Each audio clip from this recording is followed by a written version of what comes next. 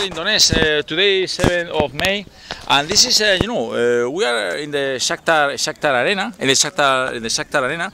Uh, this is the place is, where is playing the, fa well, famous Sh- Sha- Shakhtar Donetsk. Shakhtar Donetsk. That now, after the the war, no, the war, well, the the team was um, is not here anymore, no, but. The stadium exists here, no, and also there is a, well, the people are playing here. They are a new team, you know. Uh, and then uh, let's go there because I want to show you. you are from Britain. Yes, You like football. I do like football, but I um, I don't know, I'm a bit disillusioned with it. Everyone is. What is your favorite team? Well, I support a team. Well, I support Arsenal. Ah, the Arsenal. Everyone knows that. Uh, famous team of the world. Yeah, yeah. Um, but uh, I I, think that all, like everybody, we're, we're, sick of the corporate nature of football these days. You know. So I support another team, which is a small team, very small team, Uh-huh. which is near where I live, and they're called Hendon, which Ah. is an area in London. Ah. And Well- that's more like real. you Yeah, know. more real, no? Uh, here I want to say, Chris, uh, you, you see, this, this, this ball is very funny, no? Uh, that, that people, usually tourists are coming here to, you know, to show that you are very strong. Guy, you know, you see. Like can- Atlas. Exactly. Like Atlas. Yeah, yeah, yeah, yeah. Okay. Yeah, I'm not very strong though. Eh, uh, they, and they, you know, it's. What do you think? It's, it's beautiful, no? This stuff, no? It is. It is. It's, it's very, very, it's original actually. It's pretty, pretty original. Uh, uh, well, uh, and then uh, let's go here, no? To the to the area of uh, more, the Shakhtar area. The, I mean the the, the stadium. It's beautiful. That. So, What- and this was built for the uh, Championships 2012. Yeah, yeah, yeah. Here was. Uh, early England played here. Yeah, you are right. You are right. Here, well, this is honest. You you know uh, that how to say? It's beautiful, no city actually. Uh, all, all- now is full of flowers, no. And, and well, the war, uh, unfortunately, you know, uh, stopped no this city because it was the I thought it was the uh, the most de- developed area, no, in, in the in, in the Ukraine actually, no. Uh, All, all the industry is yeah, all the, all the all the all the strong industry is here minerals. everything is here. No? Uh, and then the thing is that I think this is one of the of the origins of the war as well, eh? because I think somehow it was kind of re, no? from the uh, side of the west. They, they imbibe these, these people, this area. It's rich. It's a, it's a, it's a wealthy area, no? Uh, very, very developed, and, and also. One of the, the causes of the war is that, actually, no? The, the, I, I think an interesting point because um, everyone, everyone remembers that the reason really the crisis developed was uh, because of this uh, association agreement with the EU. uh-huh. And the uh, association agreement was very terrible for this area. Yes, because like in England, for example, Britain, one of the reasons um, why we voted to leave the EU was because uh, we can't. It's illegal for us to support our um, industry. Industry, exactly. and Margaret Thatcher destroyed most of our industry, but there, there is still some. Still there is in industry. Um, and like for example, there's uh, steel steelworks in Huh? South Wales, and uh, it's illegal for the British government to assist. Uh? Yeah, yeah, yeah, the- the companies. A, uh, company like uh, you know, Tata Steel is called, and uh, it's illegal. And uh, if we're out the EU, um, then we can determine our own affairs and um, we can uh, we can assist. I'm not saying that the Conservative government necessarily would. I doubt they would. But the thing is, we now have uh, a return to real politics because we, the people, determine our own affairs. And if we want to elect a Labour government, we can. If we want to elect a Tory government, we can. So the, so- the, the important thing is uh, this government is an independent nation. Huh? It's uh, free of control from Brussels. Yeah. Well, United Kingdom. Well, when Oh, United Kingdom maybe no, but, but this one this one really, they didn't want to join the European Union. The people here didn't want to join the European Yes, Union, and also they didn't want part, be part of the Euro-Atlantic axis, Yes. uh, mainly for uh, economic reasons, actually. but economic reasons and also, also because they, they didn't want to uh, belong to uh, a military alliance that is enemy of their their, their brothers that are here. The brothers, they are Russian. Here the pe- people culturally, Yes. culturally the people here speak Russian. They feel not exactly Russian but quite Russians. You understand? But no? they also knew. I agree with all that. But they also, and this is why I mentioned Britain. Sorry, I lost my thread. Um, was because they understood here that their um, industry also would be um, devastated. Yeah, yeah, yeah. They understood. right? They And understood. the, the government wouldn't be able to help it. Or Exactly, whatever. exactly, exactly. Uh, And, and, would uh, be- uh, they would be under the diktat of Eh, eh, uh, exactly. the European Union. Exactly. So- Uh, uh, and also, and also, and also, You know, the, who was they were they were not in it. Uh, you don't know something, but when you speak about em- immigration, uh, uh, immigration, it's true that uh, part of the Ukrainian population were looking for jobs uh, in European Union. But others were coming here to, to work here in Donetsk, and usually my friends here in Donetsk told me, oh, Miguel, uh, I got offered to go, to work to United Kingdom. I didn't go. Why? For what? I, I was this city. It was nice before before the conflict. Eh? It was easy find very easy. Uh, it was extremely easy finding a job. Uh, the people were, were feel wealthy. You understand? You know, I mean, well, in this uh, city you can find everything, um, and the people had money in the pocket. You understand? Uh, and the people uh, had a good living standard here. I, I have been speaking with many people about that. They told me, look, uh, here in, in 2012, 2011, you know, I mean, this city was wonderful. Actually, we had a modern airport. The city is modern. Um, uh, here it was very easy to find a job. Uh, uh, uh, well, in comparison with the, the prices were low and the price and the salaries were quite good uh, for, for, for the standard of Ukraine. You understand, you know? And then people were living kind of happy here. I mean, didn't have any problem. And also here is a city that you know perfectly is probably the less racist city in Ukraine. It was not really. These people is a working area, you know, where work. Uh, there are uh, 120 nationalities here in Donetsk, and many languages are spoken. So uh, it's very open uh, society. Let's say it was a open, open to, to, everybody. You understand? You know. Uh, but the problem is that well, it's a it was a wealthy city as well. Uh, Not city area, a wealthy area. Uh, and probably uh, I, I don't know what, what what happened, but uh, part of the Ukraine were very angry with these people. They didn't like them because they were not speaking Ukrainian you know, and, also because uh, they, they, they feel envy, uh, kind of envy, you know, for, for the here, no? and this is the, one of the, of the of the causes, no, that explain all this terrible conflict, no, that, destroy Ukraine, no.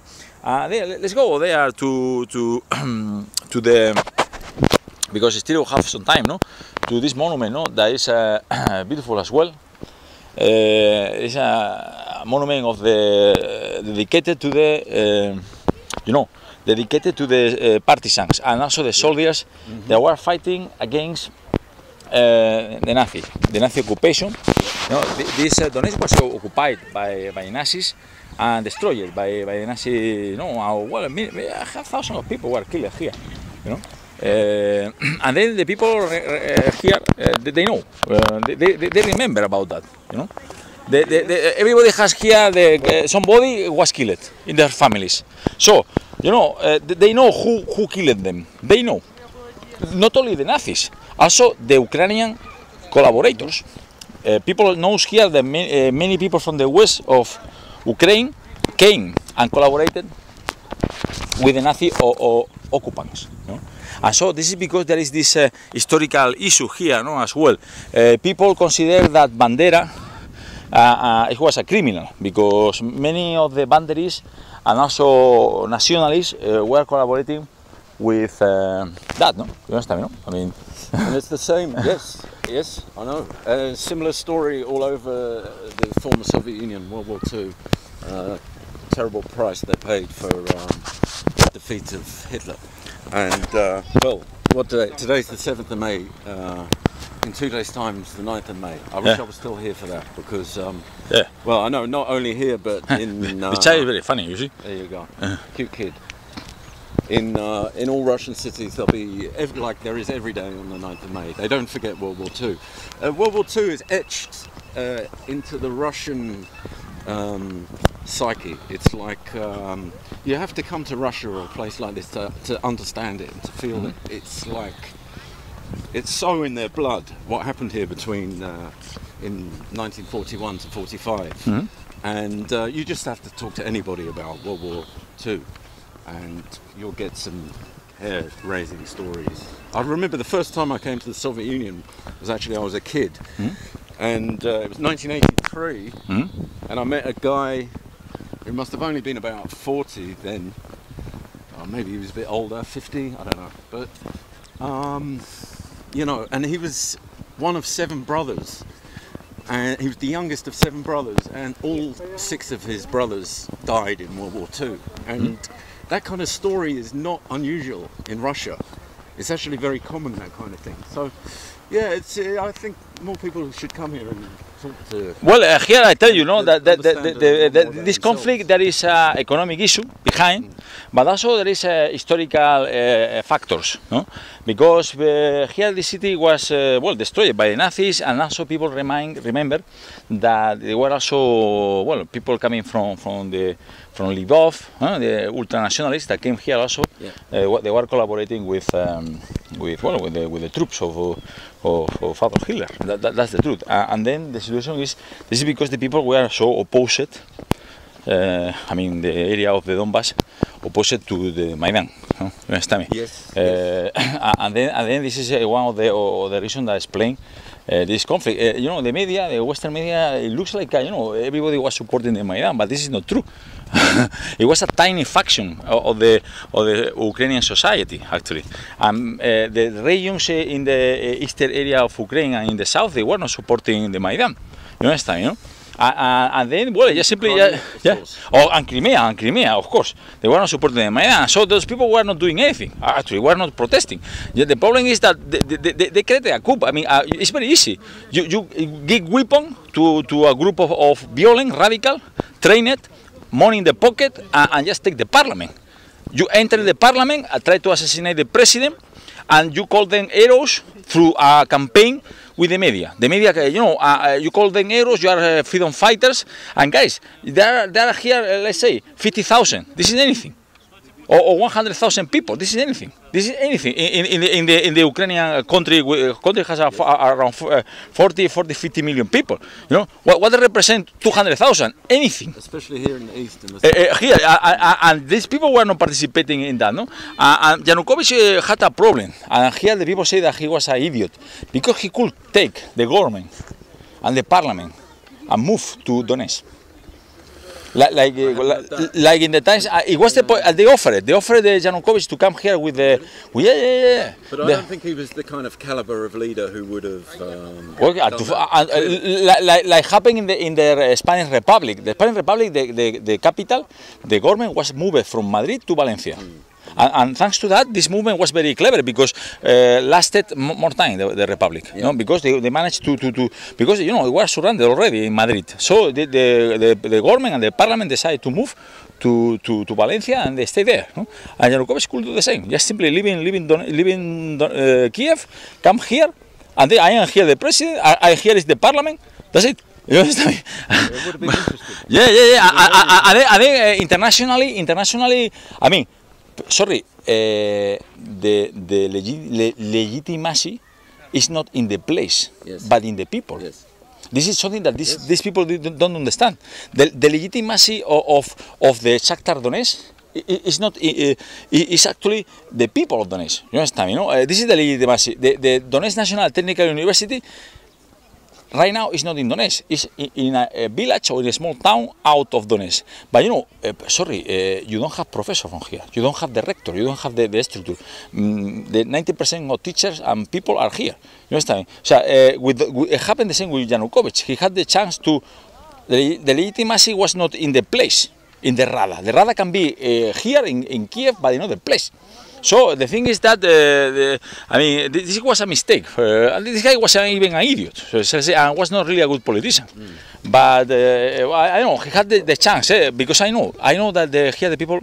Somebody told me, and I read that was offering no this this chance no to, to go to to here to to to Kharkiv, Kharkiv or, or here to to to Kharkov or to Donetsk. And he just simply Yeah. he was scared. I think um, Empire has uh, is, is very clever.